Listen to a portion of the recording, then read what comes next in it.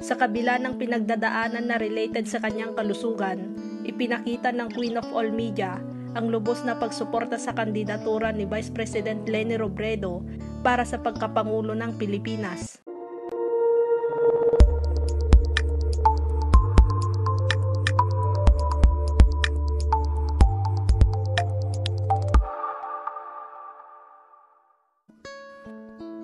Hindi nga inalintana ni Chris Aquino ang panganib na kanyang sinuong dahil nakataya ito sa kanyang kalusugan.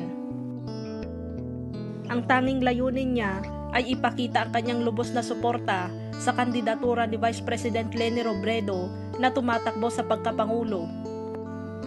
Ayon sa kanya, matagal pong nasa ibang bansa para magpatingin, sumailalim sa marami pang test, magpa-treatment at kung kailangan magpa-treatment, kahit invasive, ready.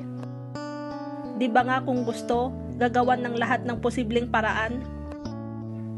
Maraming salamat Tarlac, hindi kayo nang iwan, hindi nyo kami kinalimutan.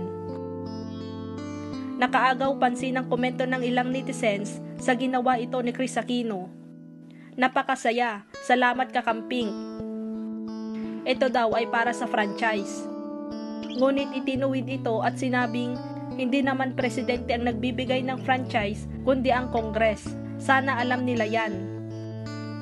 Yan ang rason kung bakit nila sinusuportahan si Robredo kasi napangakuan sila ng franchise ngunit di yata nila alam na Kongres ang magbibigay nun.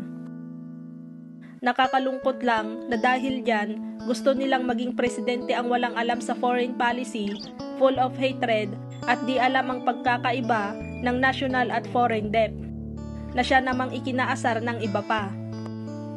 Magkakaiba man ang pananaw ng bawat isa, iisa lang naman ang hangad, ang ginhawa at pagkakaisa.